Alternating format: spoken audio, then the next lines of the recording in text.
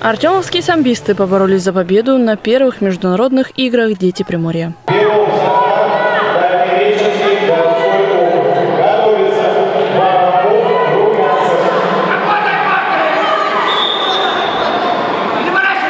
Третье место завоевал Алексей Ситников в весе 35 килограмм. Он одержал победу в четырех схватках, но уступил сопернику в борьбе за выход в финал.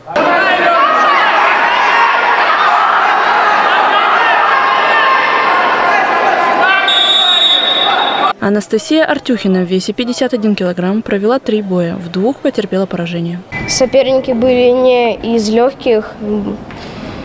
Проиграл в полуфинале и автоматически занял третье место. Соревнования проходили на высшем уровне, мне понравилось. Я не вышла в призеры, но я старалась, а соперницы были... Сложно было с ними бороться.